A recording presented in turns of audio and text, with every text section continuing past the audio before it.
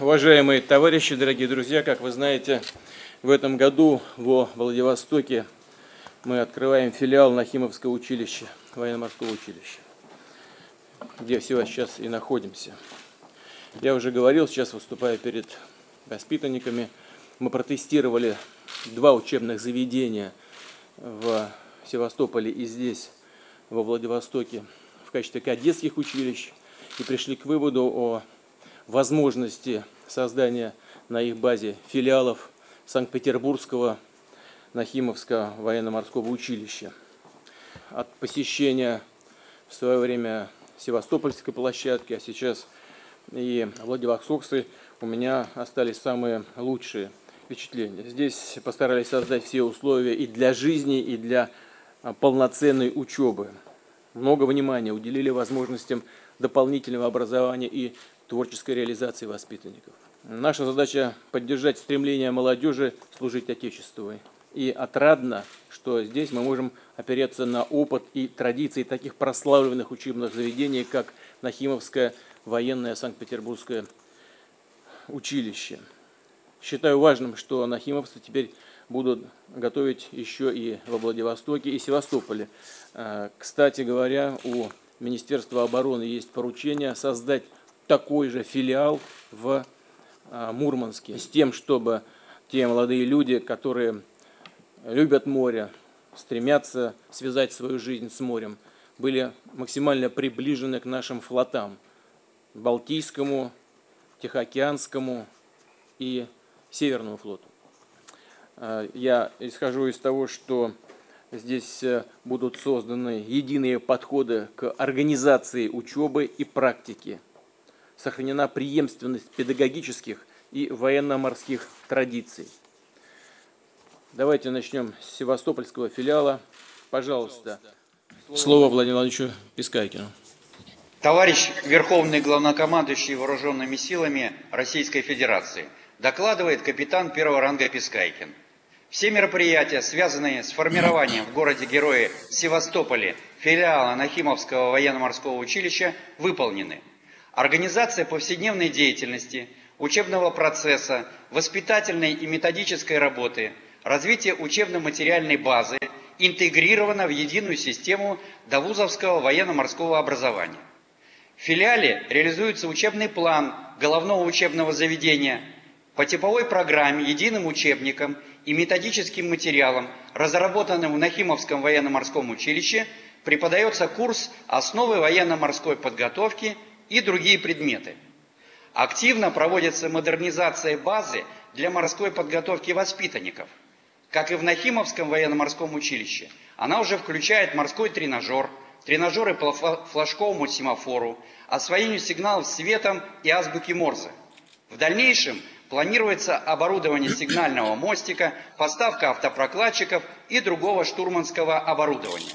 Филиал в полном объеме переведен на военно-морской уклад жизни. Лучшие воспитанники назначены старшинами классов и командирами отделений. Им присвоены специальные звания, принятые в Нахимовском военно-морском училище. Одной из наших основных задач является развитие морской составляющей воспитания и обучения. За классами и курсами филиала закреплены корабли, части и соединения Краснознаменного Черноморского флота – Кураторство филиалом осуществляет Черноморское высшее военно-морское ордена Красной Звезды училище имени Павла Степановича Нахимова. Летняя морская практика воспитанников уже в текущем году была организована на кораблях Черноморского, Балтийского и Тихоокеанского флотов – в рамках интеграции довузовских военно-морских учебных заведений в филиале в этом году было организовано совместное обучение, отдых и оздоровление наших воспитанников и нахимовцев военно-морского училища. В настоящее время к нам в Севастополь для проведения аналогичных мероприятий прибыли нахимовцы филиала училища из Владивостока. Продолжается наращивание учебно-материальной базы. Завершено строительство ледового катка с бассейном – летние пляжные зоны и шлюпочные базы. Благоприятное расположение филиала на берегу моря позволяет проводить шлюпочную практику не только нашим нахимовцам, но и воспитанникам Нахимовского военно-морского училища и нашим коллегам из Владивостока.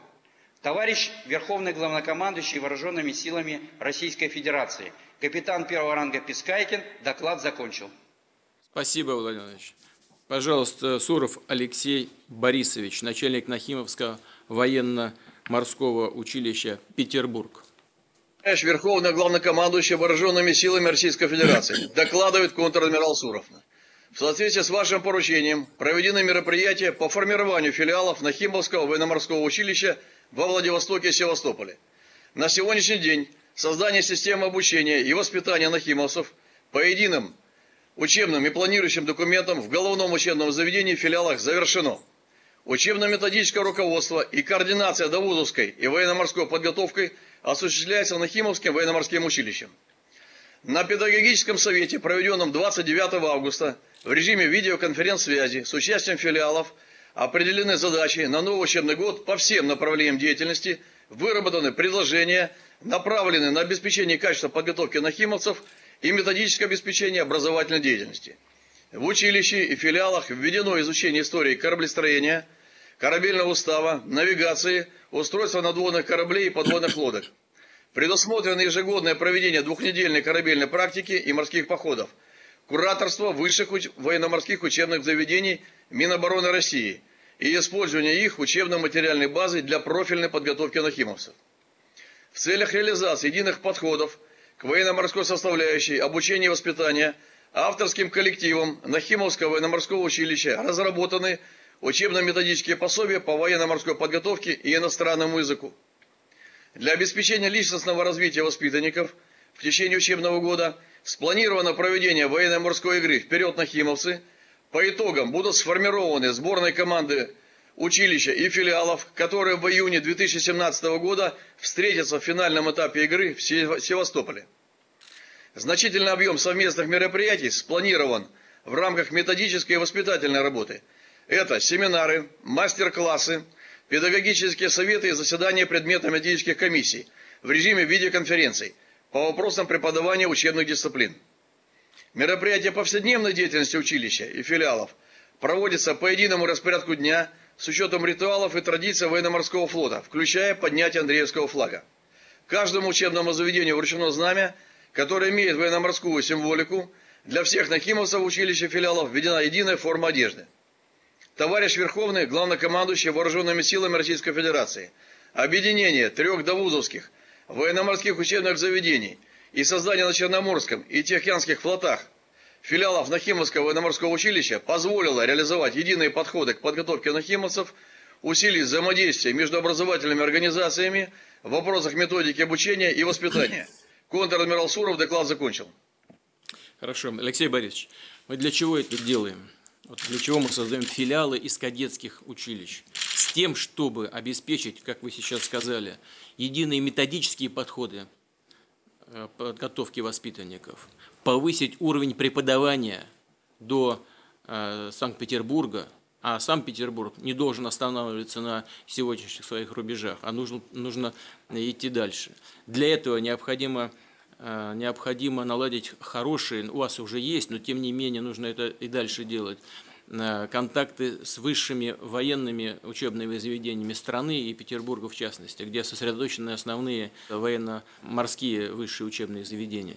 Но не только с военными. Нужно наладить прямые контакты и с э, ведущими гражданскими учебными заведениями страны, Петербурга и страны в целом. Э, воспитанники должны быть вовлечены в Э, творчество в самом широком смысле этого слова. Без э, современных знаний, без современных методических подходов э, невозможно подготовить высококлассных специалистов завтрашнего дня для военно-морского флота. Кстати говоря, не должно быть обязаловки направления в военные, именно в военное училище. Но, конечно, нужно таким образом воспитывать молодых людей, подростков, с тем, чтобы у них возникала и укреплялась любовь к военно-морскому делу. Я очень рассчитываю на то, что вы сможете все это сделать. Э, имею в виду также не только географическую близость э, самого Нахимовского Санкт-Петербургского училища и его филиалов к э, различным ведущим нашим флотам, Тихоокеанскому, Балтийскому, Черноморскому, но и надеюсь на то, что вы под руководством министра обороны сможете обеспечить хорошую практику, ну, такую, конечно, которая соответствует э, уровню подготовки, знаний и возрасту ваших воспитанников. Хотелось бы, чтобы ваши воспитанники не только проходили а, практику на различных флотах, но и имели бы возможность вместе со своими коллегами будущими, друзьями, э, однокашниками э, какое-то время, может быть, пройти теоретическую подготовку в филиалах, а воспитанники филиалов могли бы приехать в Петербург. Это было бы очень важно для расширения кругозора ваших воспитанников, понимания того, где э, находится, э, на каком уровне находится развитие нашего военно-морского э, дела в целом. И Повторюсь, здесь нужен постоянный, постоянный, постоянный творческий поиск преподавателей и руководителей Э, центрального заведения в Петербурге и его филиалов. Очень рассчитываю, что именно в таком ключе вы будете работать. Хочу э, вас и всех преподавателей Санкт-Петербургского Нахимовского военно-морского училища и его филиалов еще раз поздравить с наступающим праздником, Днем Знания. Удачи вам!